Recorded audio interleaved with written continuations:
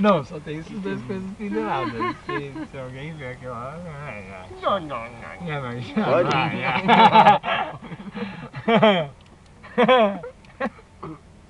Que cheirinho bom, pai. Olha lá, olha lá, olha lá. Curti, curti. Ah, muito lerdo.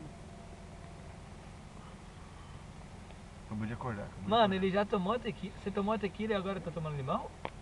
Mas você engoliu a tequila antes de tomar o limão? A gente faz diferente. Ah, vou Nossa, fazer sim. diferente também. Vou fazer diferente.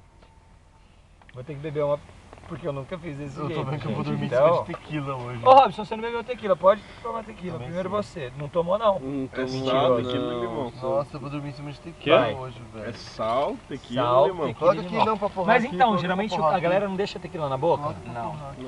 Engole e aí depois pega o limão? Firmeza, fazer isso. pra